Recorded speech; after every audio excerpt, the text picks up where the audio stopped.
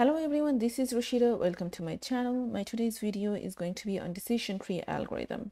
The decision tree algorithm is very popular because it has shown good efficiency in a lot of data sets and also it is very easy to explain. So here you can see a picture. Okay, I just downloaded this picture from Google. Uh, this is a very classic example of a binary classification. See, here we have three variables, weather, humidity, and wind. First, it takes weather that has three different values, sunny, cloudy, and rainy. If it's sunny, then it goes to humidity, the second variable. If the value is high, then no. And if the value is normal, then yes. So we get our decisions. So as this is the binary classification I mentioned before, so it has only yes and no, two values in the target variable. When the weather is cloudy, it's only yes. The only one side, there is no no to it. And when it's rainy, it goes to this third variable called wind. And if wind is strong, then no, and wind is weak, then it's yes you can see that in decision tree algorithm so it doesn't need too much mathematics to explain it to somebody. Yeah it's very simple that way. But how this variable this weather variable went to the top the first variable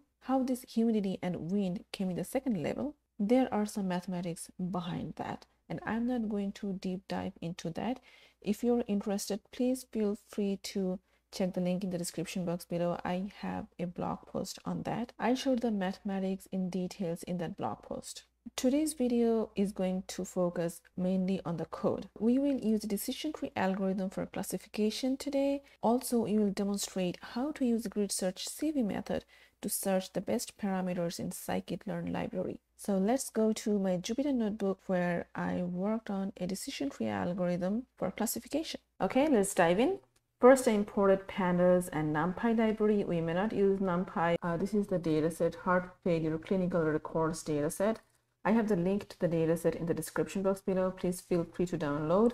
So I used pd.readcsv method to create a data frame using this CSV file. And this is the df.head. You can see the dataset we have age, anemia, creatinine phosphokinase, diabetes, and all these other variables. And at the end, we have death event. And this is what we are going to predict today using the decision tree algorithm. And look at this here, df.deathEvent.value counts. It's going to give you the unique values and the number of time they occurred in the dataset. So we have 0 and 1 as death event and we have 203 times 0 and 96 times 1. So as we are going to predict the death event, this is going to be our target variable today and we're going to use rest of these other variables to predict the death event. So rest of these variables are going to be our training features. Now, this is very important and I do this almost, not almost, every time. I do this literally every time that is check for the null values in the data set because if you have null values, we are going to get errors. df.isNA.sum is going to give you the number of null values on each variable. So you can see that we have zero null values in all the variables. So data set is very clean. So that's Kaggle. I got this data set in Kaggle. Lots of time you can get this really nice and clean data set for practice. Here, what we are doing, just defining X and Y. X is the training features. So as we mentioned already before that except for this death event, rest of them, they're all training features. So from this DF, if we just drop death event, we get our training features. That's what we did df.drop columns death event. And as death event is our target variable if from df we just grab death event that's our target variable. Y df.death event? And then train test split. We do not use all the data we have for training. After training we need to evaluate our model. So for evaluation purpose we need to keep some of the data separate so for that, we use train test split method from scikit-learn.model selection. And here is how we do it. S train, X train, X test, Y train, Y test, train test split method. We pass X, Y that we just defined and test size is 0.4. That means 40% of the data will be separated for testing purpose or evaluation purpose and then random state 44 you can use 44 or 0 or 5 i mean any or 5 i mean any integer of your choice. The reason we use random state actually in my one of my previous videos in the comment section somebody asked why we need random state. The reason we need random state is if you want to split this same data set again the same way if you do not use random state the separation will be different. The x, x test and x train they are going to be different. But if you use a random state what will happen? If you want if you need to split it in the same way again you can simply use the random state of the same value. You will get the same split. The dataset is ready. Now the model development part. First you import the decision tree classifier from sklearn.tree and then i call decision tree classifier method and i save it in this dt this variable. And look i didn't put any parameters here. That means i actually accepted all the default parameters.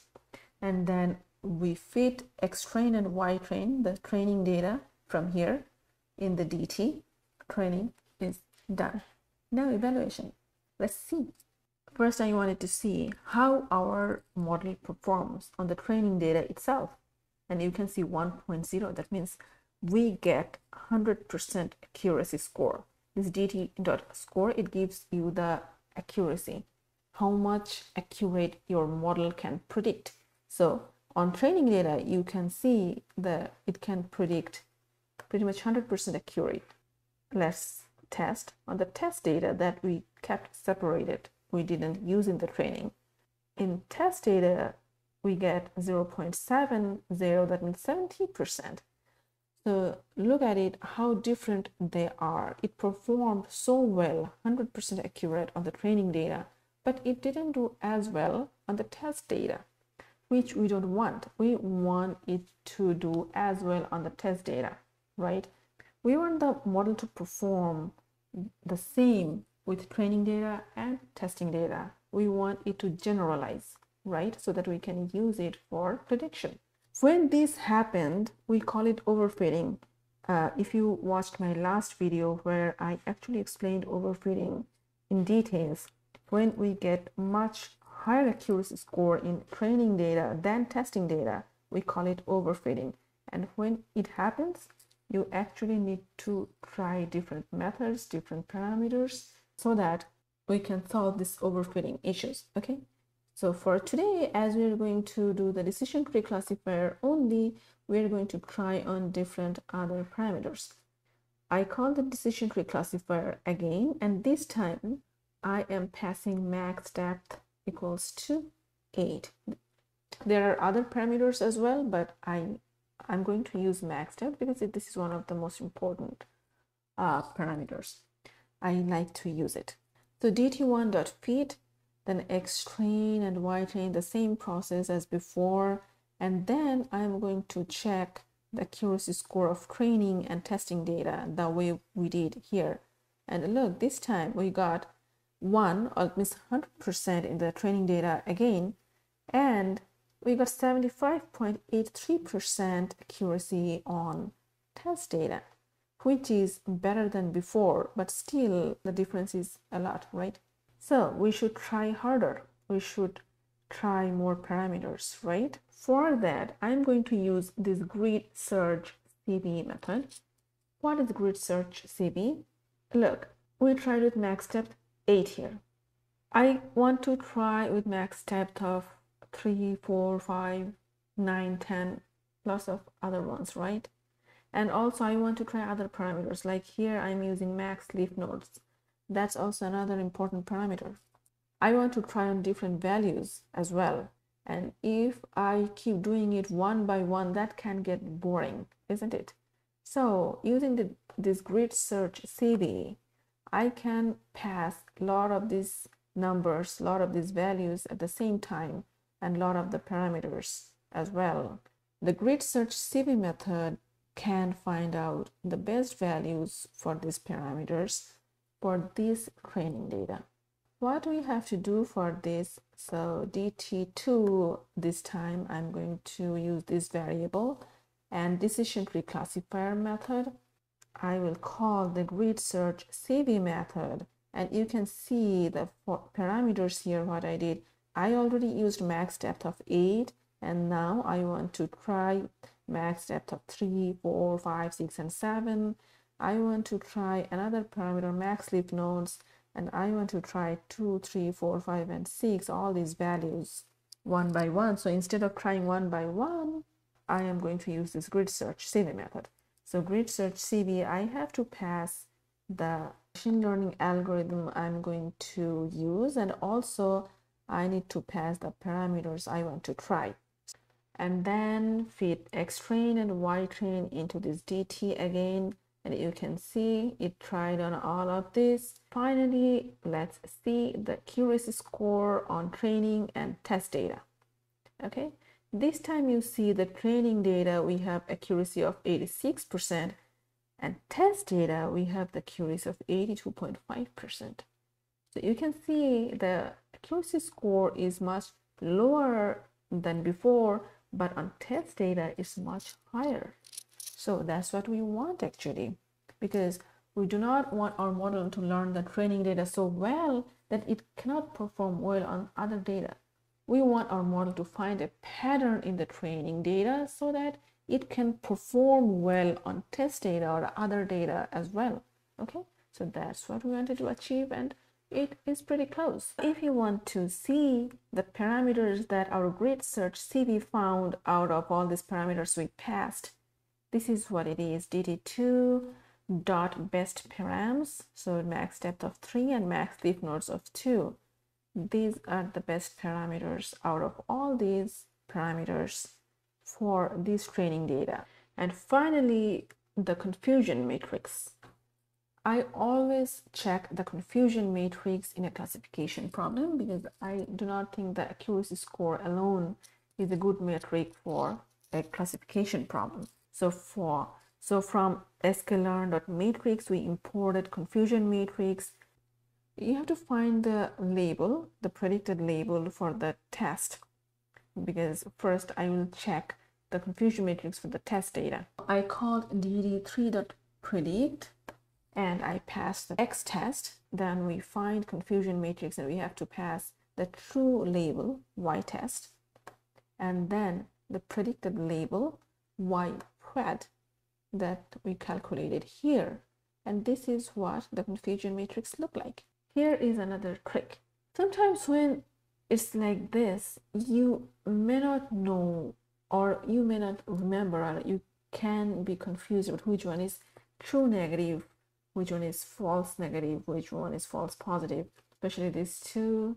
Sometimes you can be confused. So this is what i do true negative false positive false negative and true positive. Confusion matrix you exactly use the same. And then dot ravel. So that's what will give you a total flattened result. So it's much clearer, isn't it? You can see that our true negative, we have 73 and true positive 26. I want to do one more thing.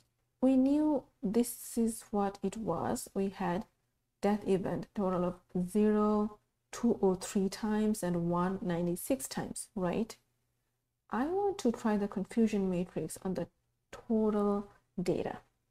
So y pred total, then dt3 dot predict, I pass the x, our total training features, all of them. And then I want to find the confusion matrix for the total data. So I pass y because I used x here, so I have to pass y, the true label, and y pred total that we just calculated dot ravel this time this is what we get and now you check we had total of 203 negative data, right? And our model could calculate, uh, our model could estimate 190 of them accurately, which is, I believe, pretty good. And then we had 96 ones or positive data. And then the model got 63 of them right. And then we have 13 false positive and 33 false negative. That's all for today. Thank you so much for watching.